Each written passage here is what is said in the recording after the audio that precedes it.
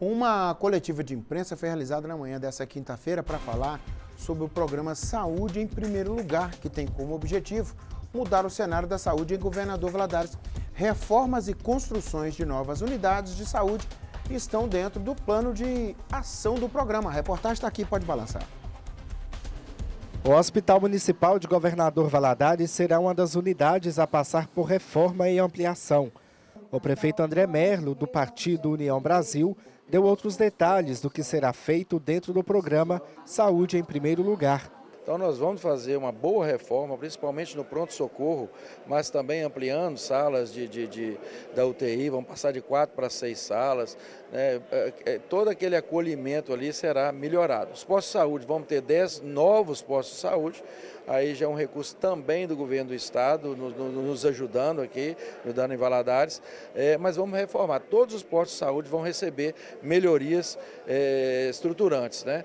Então a gente vai investir muito esse ano na saúde para deixar uma saúde estruturada para um próximo governo, enfim, para a população de Valadares, para usufruir da melhor maneira possível. O investimento para a área da saúde será de 50 milhões de reais, explica o prefeito. Com a concessão do SAI, entrou um recurso especial e a gente então vai investir para deixar um legado bacana para a cidade aí em, relação à saúde, que Valadares precisa se firmar como cidade polo né, da nossa região em questão de saúde. Então nós vamos destinar em torno de 50 milhões de reais para a saúde, então ela vai melhorar a infraestrutura, mas acima de tudo, melhorar o atendimento, humanizar o atendimento, qualificar, capacitar os nossos servidores para a gente estar atendendo da melhor maneira possível o cidadão de Valadares e região. Questionado sobre a situação do estoque de medicamentos nas unidades de saúde, André Merlo esclareceu que a situação está se normalizando. Hoje está assim dentro de um padrão normal, a gente vai melhorar essa questão. No setor público é muito burocrático a questão da aquisição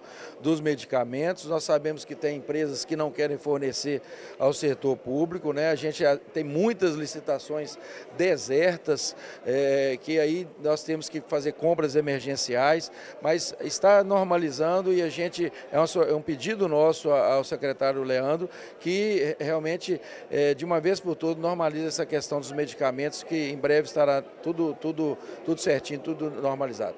O secretário municipal de saúde de governador Valadares destacou que aproximadamente 80% das ações do programa estão em andamento.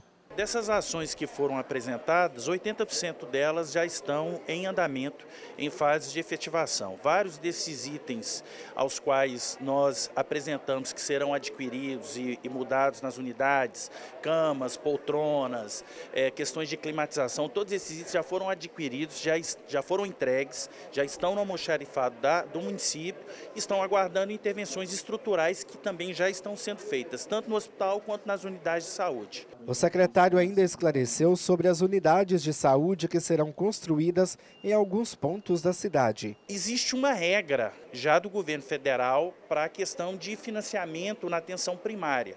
Então é considerado quantitativo populacional, é considerado também algumas questões é, geográficas que são definidas pelo Ministério da Saúde. Então a partir desses padrões o Estado também fez um desenho com requisitos de financiamento.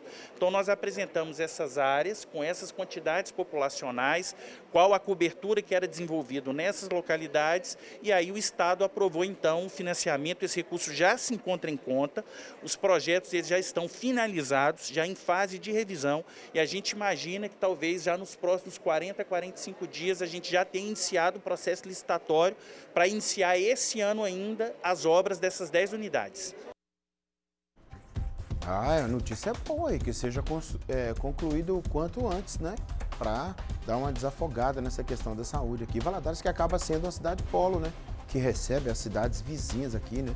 E a gente sempre vai lembrar da necessidade do governo do estado finalizar a obra ali do Hospital Regional, aquele localizado ali na BR-116, né? A gente espera esse aparelho para é, desafogar por vez a saúde aqui na nossa região, né?